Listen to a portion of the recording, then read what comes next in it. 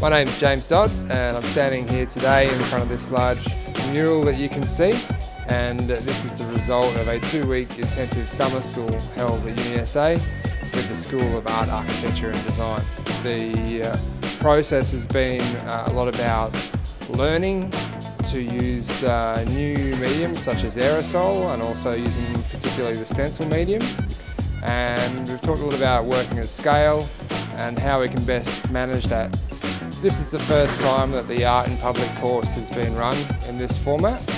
and artists, uh, participants, students were invited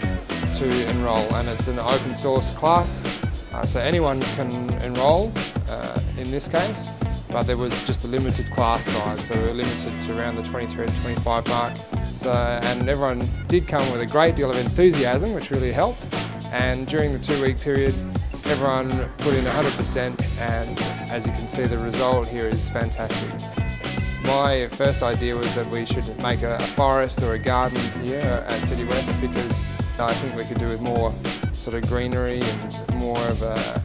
uh, organic feeling around here. So we started with that as our base idea. You can see obvious things like flowers and trees, but for me it was really important to encourage people to have lots of fun. So you can see some of the trees here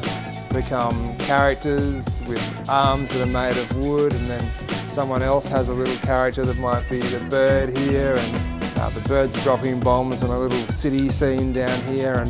so all throughout the design process it's my role to encourage people to look at each other's ideas and see ways in which they can collaborate. So many of the images that you see here are created by one or two people some of them require three or four people to actually put it on the wall. And then many of the other images that are here have come about from two or three different ideas from other people. This project is a huge success. Everyone that was involved uh, I think had a great time as well as learnt a great deal and the feedback that we've been receiving from the mural has been fantastic so we already have enough support